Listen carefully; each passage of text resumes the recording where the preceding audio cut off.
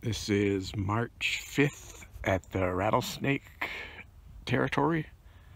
There's nobody at the nest.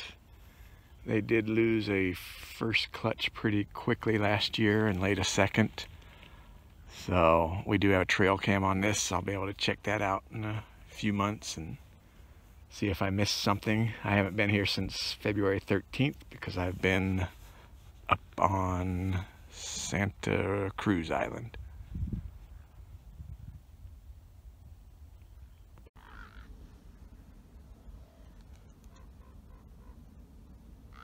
I scanned the rattlesnake territory for a while looking for the adults but don't see any.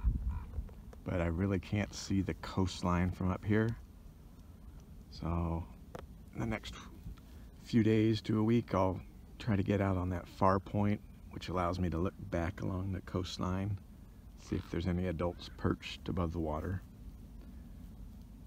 Don't know if they've nested and failed, not nested, or built a new nest somewhere else.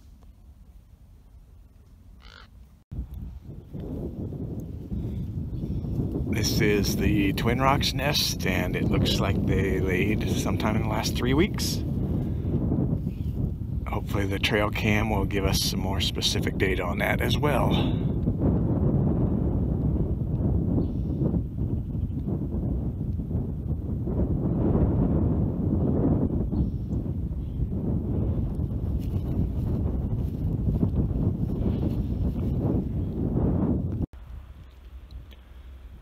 This is the Empire nest and they are still incubating. I still cannot see how many eggs are here. And this is a spot I can't stay at for long.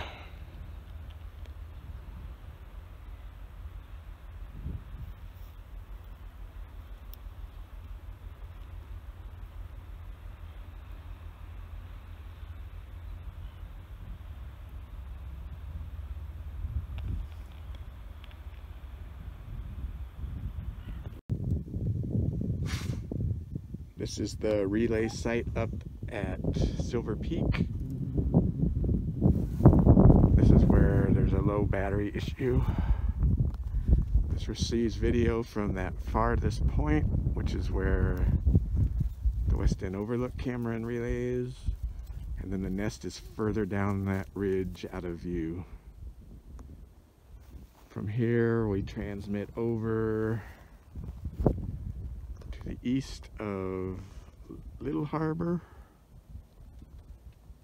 and then up to a peak that's uh, behind those higher peaks and then about 24 miles across the ocean to the Palos Verdes Peninsula. That's how the West End camera gets online. This is the middle ranch nest and it looks like they've laid as well.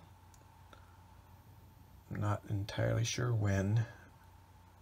Sometime since February 20th.